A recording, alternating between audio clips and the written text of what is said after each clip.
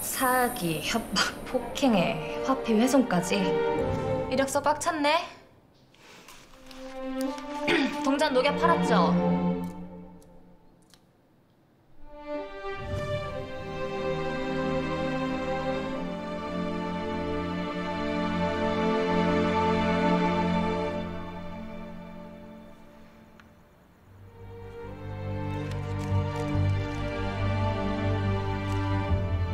성희 씨, 그날 말하려다 하지 못한 말이 있어요.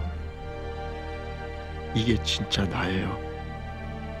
쌍둥이 형 한수호가 실종된 사이에 그 자리를 차지했어요.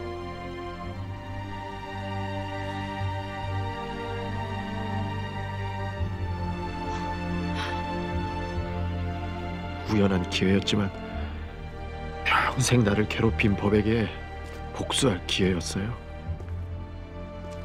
나도 법을 가지고 놀아볼 수 있잖아요. 그런데 소은 씨를 만나고 나서 달라졌어요. 내 얼굴이 일그러진 걸 거울 탓만 하면서 살았는지도 몰라요. 중간에 떠나려고 했는데 그러지 못했어요. 옆에 있고 싶어서 계속 거짓말을 했어요. 좋은 사람이 되면 좋아할 자격이 생기지 않을까 꿈도 꿨어요.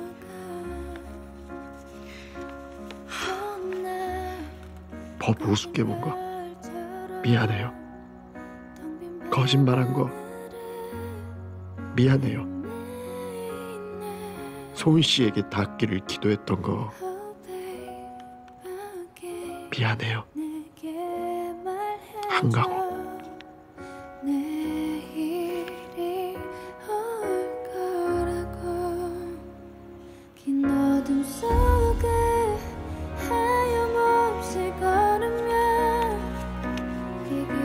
여기가 중력이 센가 봐.